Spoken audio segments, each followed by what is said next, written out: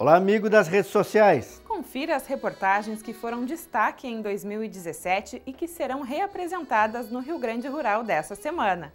Além disso, você vai ver também produção de madeira e pecuária no mesmo espaço. Em Agudo, uma propriedade se destaca no sistema silvipastoril. Em Vanini, outros destaque na produção de madeira.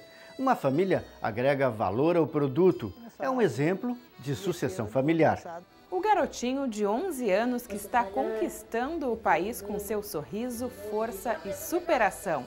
Caminhos Poloneses, roteiro turístico no município de Áurea.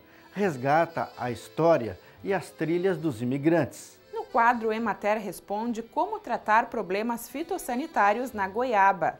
E na receita da semana, pêssego trufado.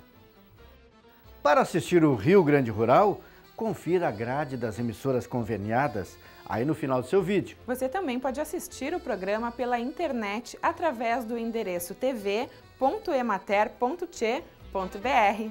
A Emater entra na sua casa pela TV.